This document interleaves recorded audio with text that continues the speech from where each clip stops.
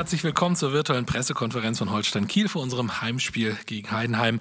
Anpfiff ist am Samstag um 13.30 Uhr. Aktuell haben wir ungefähr 9500 Karten verkauft.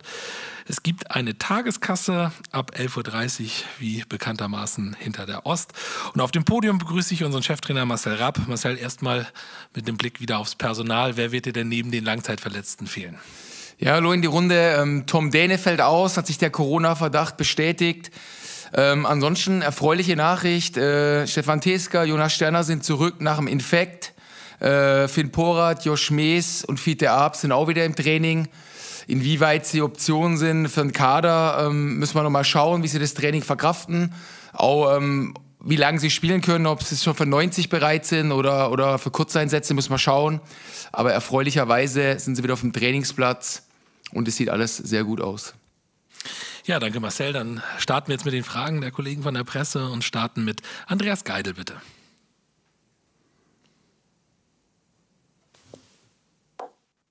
Hörst du mich, Marcel? Ja. Hallo, guten Tag. Ähm, bei der Aufzählung eben, äh, Marco Komenda ist ja auch wieder fit. Da habe ich jetzt auf der Liste noch mal drauf. Der ist noch draußen, ähm, der hat immer noch Wadenprobleme, der fällt weiterhin aus. Ja, dann äh, direkt rüber zu Stefan Flom, bitte. Ja, moin in die Runde. Ähm, Herr, ein Punkt fehlt noch, um absolut sicher zu sein. Wie groß ist der Hunger, wie groß ist die Hoffnung, diesen Punkt dann am Samstag tatsächlich einzusammeln? Ja, sehr groß. Also die Hoffnung oder der, der, die, die Aufgabe ist, dass wir drei Punkte holen wollen natürlich.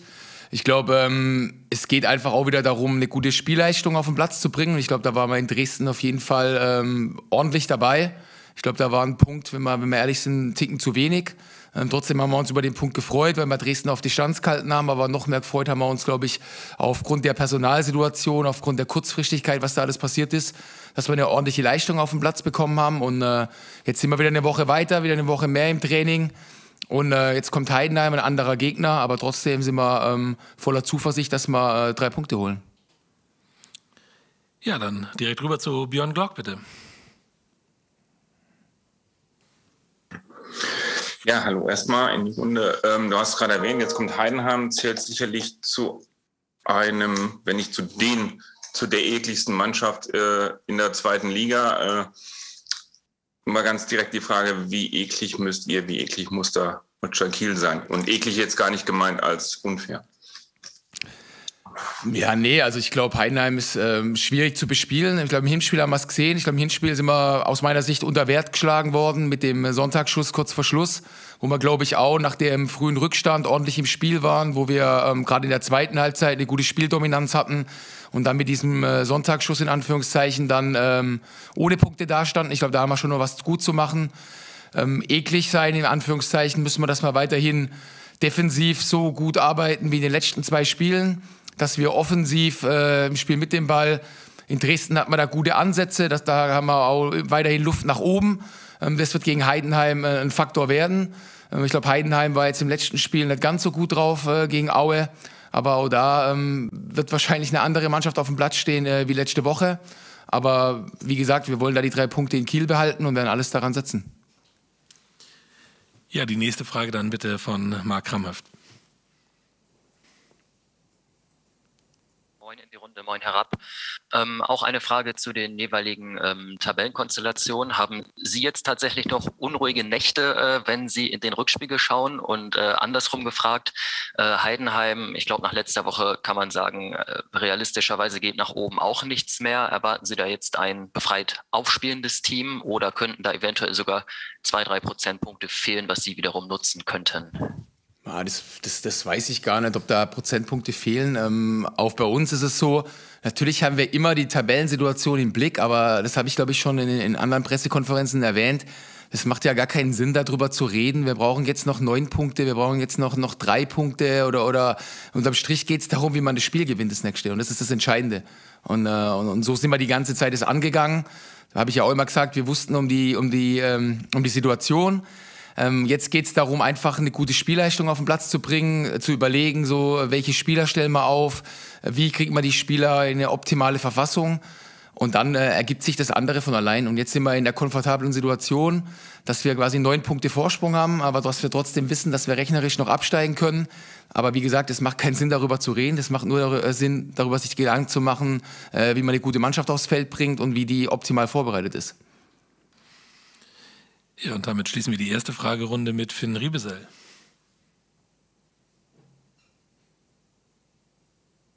Moin Herr Rapp, ich hoffe, Sie können mich hören. Super. Ähm, letzter Sieg gegen Heidenheim war ja am 16.03.2018, ein bisschen her. Kann man sagen, dass Heidenheim so ein bisschen der Angstgegner der Kieler ist? Naja, könnte man meinen, wenn man das jetzt so hört, ist schon eine Weile her. Ähm, trotzdem glaube ich, war beim Hinspiel nah dran, äh, einen Punkt zu holen, vielleicht sogar zu gewinnen, eher einen Punkt zu holen. Ähm, und jetzt geht es halt darum, mal den Bock umzustoßen. Aber auch da ist es so, wie, wie, wie in der Frage davor, es geht darum, einfach eine gute Leistung aufs Feld zu bringen. Und wenn wir eine gute Leistung bringen, dann ist die Chance relativ hoch, dass wir das Spiel gewinnen. Wenn wir keine gute Leistung bringen gegen Heidenheim, dann wird es relativ schwer, einen Sieg einzufahren.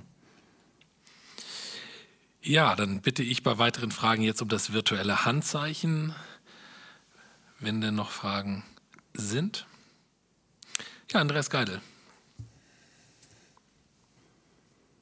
Äh, Marcel, jetzt hast du gesagt, äh, kommen zwar einige zurück, äh, manche, manche, Spieler könnten sogar eine Option für den Kader sein oder sogar schon für einen Einsatz. Äh, dennoch bleibt ja eine ganze Latte von Spielern, die noch ausfallen. Hast du so, so eine Misere, Schrägstrich, solche schon mal erlebt in deinem Spieler- bzw. Trainerleben? Ja, also ich bin jetzt, ich bin ja jetzt schon eine Weile Trainer, ja, auch wenn ich jetzt noch nicht so lange Profitrainer bin, aber das, das gab es im, äh, in Anfang im Jugendfußball auch manchmal, dass, dass einige Spieler ausfallen. Ich glaube, es ist halt einfach so, wir überlegen ja auch, warum, weshalb, wieso ist das so. Und äh, zum Schluss muss man halt einfach sagen, es sind einfach ganz, ganz viele Verletzungen, wo jetzt nicht an der, ähm, an der Trainingssteuerung liegt oder so, sondern es sind einfach irgendwie wie Hauke Wahl, ein Infekt, kann man nichts machen. Ähm, wenn einer einen Schlag abkriegt oder wie, wie bei Fiete Ab, so, so ein Brechschlag, äh, das ist halt einfach schwierig, das zu verhindern. So. Aber die Situation ist, wie sie ist. Wir müssen gucken, dass die Jungs auf den Platz kommen. Die kommen jetzt peu à peu zurück. Jetzt gilt es halt auch darum, ein Stück weit die nicht zu verheizen. Ähm, so ein Stück weit wie mein, bei Marco Comenda war es dann so, das wissen wir alle, der ist dann einfach viel zu früh, musste der wieder spielen, aber das war halt alternativlos. Der hat seine Sache mehr als ordentlich gemacht, aber so ein normaler Trainingsaufbau, und das, das sind wir uns auch bewusst, sieht anders aus und deswegen ähm, ist der Marco auch öfters mal wieder so mit kleineren Blessuren einfach raus, aber er stellt sich da in Dienst der Sache oder hat sich in Dienst der Sache gestellt. Da sind wir ihm total dankbar drüber, ist für ihn gar keine Frage. Aber das sind dann auch die Begründungen, warum jetzt auch Marco Comenda mal öfters mal ausfällt. Ähm, aber so ist die Situation gewesen. Ähm, jetzt müssen wir gucken, dass die Jungs aufs Feld zurückkommen, dass wir die gut aufbauen. Und dann bin ich mir auch sicher, dass wir nicht mehr so viele Ausfälle haben werden. Ja, gibt es weitere Fragen an Marcel? Dann bitte ich um das virtuelle Handzeichen. Ja, Björn Glock dann als nächster. Ja, dann schließe ich einfach noch eine Personalfrage an. Weißt du dann schon, wie du es im Sturm angehen wirst? Wenn ich ehrlich bin, weiß ich es noch nicht ganz genau. Es ist ja immer mehr oder weniger so die gleichen Optionen. Jetzt haben wir gespielt mit, mit Stevie hat gespielt. Äh, mein Jonas Sterner äh, war ein bisschen erkrankt, der ist jetzt wieder gesund, der könnte eine Option sein. Äh, Benny Pichler äh, ist auf der Bank, dass wir auch mit zwei Spitzen spielen können. Ich glaube, das habe ich ja jetzt schon öfters auch mal in der Presse gelesen, dass das auch eine Option ist, wo ihr euch vorstellen könnt. Ähm, also da sind wir, glaube ich, breit aufgestellt. Da müssen wir einfach nochmal so gucken, was, was, welche Gedanken gehen wir nochmal durch den Kopf. Und dann lassen wir uns mal überraschen, was am Wochenende dann, wie wir uns entscheiden. Ja, die nächste Frage dann von Andreas Geidel, bitte. Äh, Statistiken sind ja nun äh, da, um widerlegt zu werden, das ist ja bekannt. Aber trotzdem äh, ist auffällig, dass Heidenheim äh, verbindet man mit einer stabilen Mannschaft. Aber dass die auswärts erst 13 Tore geschossen haben. Also schlechter ist nur Aue in der Torbilanz. Äh, das überrascht doch ein bisschen, wenn man da äh, drauf schaut, nicht jedenfalls. Äh, ist das, hat das irgendeine Aussagekraft bezüglich deiner Strategie oder ist das eine Zahl, die, die eben da ist und sonst nichts? Ja, das ist eine Zahl, die eben da ist. Ähm, ich glaube, es geht ja so ein bisschen darum, oder so, so gehe ich die Sache an, so, was macht Heidenheim, was macht die aus, was, was ist ihre Idee, äh, wie könnte die Idee äh, auf uns passen, so, was haben wir dann vor dagegen, dass wir da irgendwie, welche Räume können wir bespielen, was müssen wir machen gegen den Ball, um da einen guten Zugriff zu haben, wo sind sie gefährlich. Aber so, so mit der Zahl äh, kann ich jetzt echt nichts anfangen.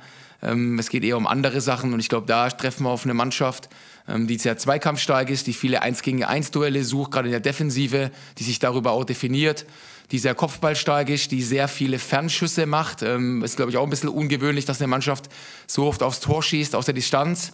Wird dann auch manchmal belohnt, wie im Hinspiel.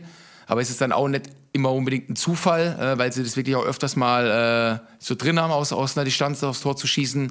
Ich glaube, das sind eher die Dinge, ähm, wo ich einen Fokus drauf habe und nicht auf die Statistik, ob die jetzt auswärts mehr Tore schießen wieder heim oder mehr bekommen wieder heim.